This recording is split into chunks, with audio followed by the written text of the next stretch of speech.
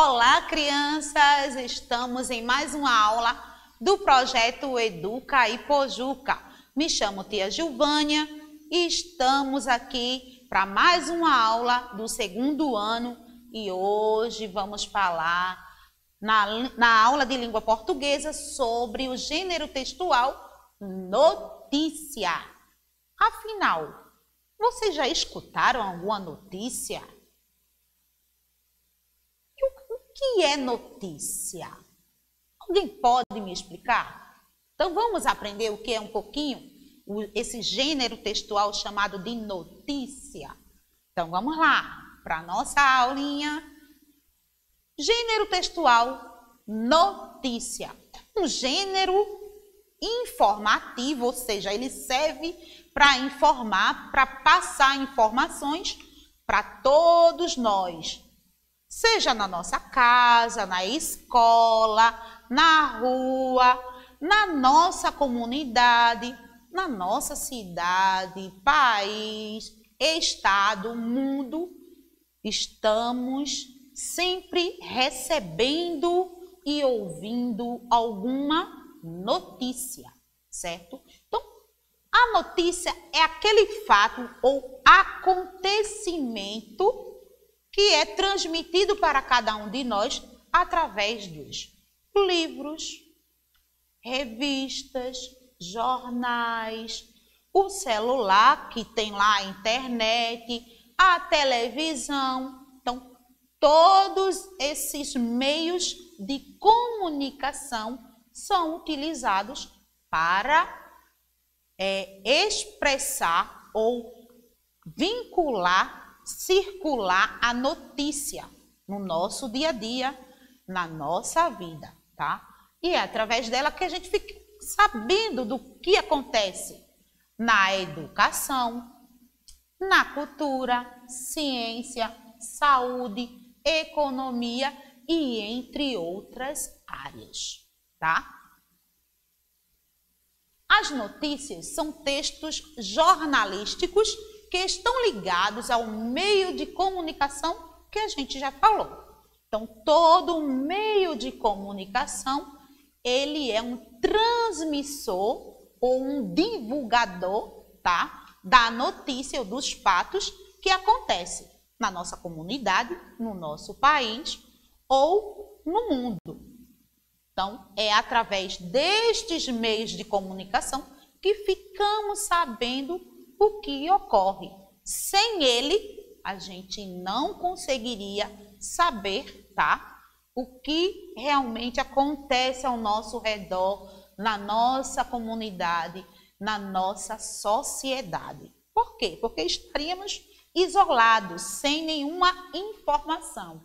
Então, antigamente, né, é, geralmente levava-se um bom tempo para sabermos de alguma notícia. Por quê? Porque há muito tempos atrás só havia cartas que levava dias, meses para chegar ao destinatário ou à pessoa que iria receber, tá certo?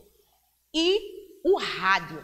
Então, esses eram os dois meios de comunicação que se divulgava uma notícia ou um fato, um acontecimento e a gente levava um bom tempo para saber, para conhecer o que estava acontecendo, seja com o nosso país, seja com o nosso ente querido, seja com a nossa comunidade.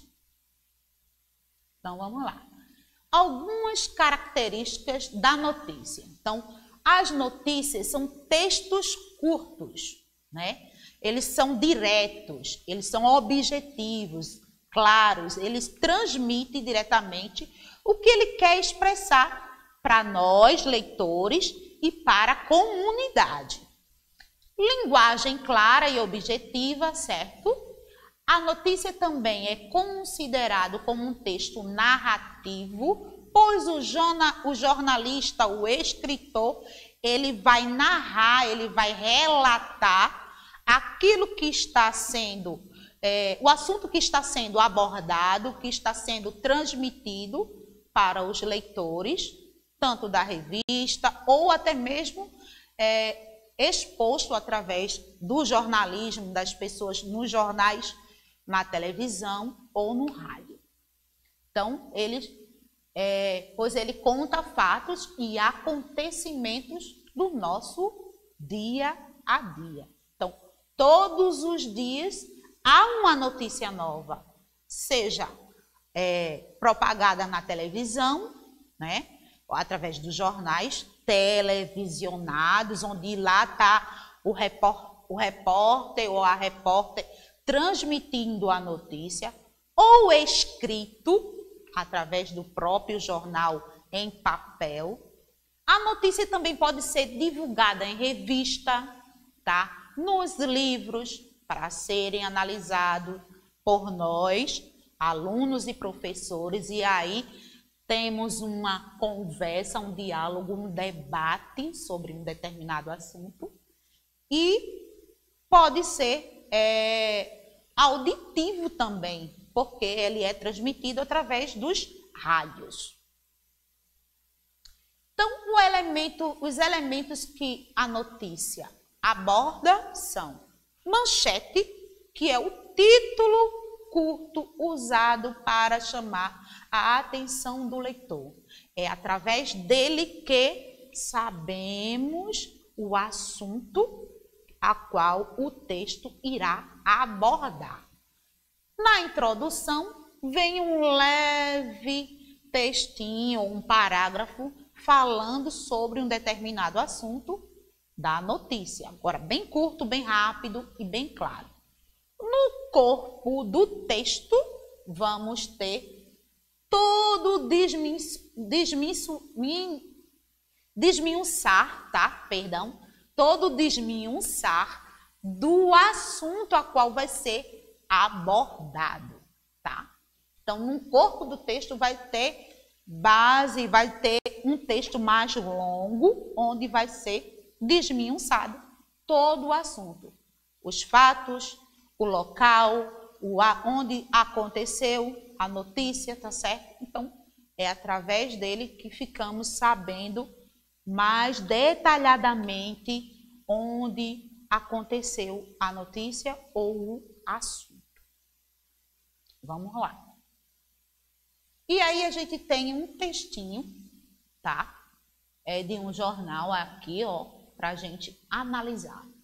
É um texto Jornal do Comércio, tá? De Porto Alegre, que foi divulgado ontem, dia 24 de janeiro, e fala sobre o coronavírus, tá? Que é um assunto que é a febre do momento, é a notícia do momento, né? Desde 2020 que falamos sobre esse assunto e não cansamos de falar sobre ele. Por quê? porque ele está na nossa vida, né? Ele passou a ser uma notícia diária, constante no nosso dia a dia. Então, esse, é, essa notícia fala sobre a divulgação de um livro digital, tá? Livro digital gratuito explica pandemia de coronavírus para uma criança. Então, o autor, né, é, Pedro Leite, ele criou esse livro para a criança, onde explica passo a passo, né, de como nos prevenir do coronavírus. E o jornal abordou essa notícia, né, com a manchete aqui, ó, livro digital gratuito explica a pandemia de coronavírus para a criança. E aí tem o autor do livro, a imagem do autor, Pedro Leite, e quem é, ilustrou, né, juntamente com ele, este livro foi Sofia e Otton. Esse livro é para criança, é gratuito está disponível né, no, no, na internet. Todo mundo pode acessá-lo e baixá-lo gratuitamente. E mais embaixo temos é, o corpo da notícia, lá no jornal. Então vamos lá. Deixa eu voltar. Então, esse é a notícia e aí temos aí o livro criado ou elaborado, escrito por Pedro Leite, que diz, cujo tema diz: Somos heróis, os cuidados para co combater o coronavírus, tá? O coronavírus irem embora. Então temos aí a ilustração e esse livro é indicado para as crianças, né? Totalmente gratuito está disponível na internet, certo? Então vamos lá. E aí a gente conclui a nossa aula de hoje com um desafio do dia, localizar o título da notícia que vocês, que a gente analisou anteriormente, qual o tema, ou qual o assunto que a notícia aborda e em que meio de comunicação foi divulgada a notícia da escrita do livro ou do lançamento do livro para vocês.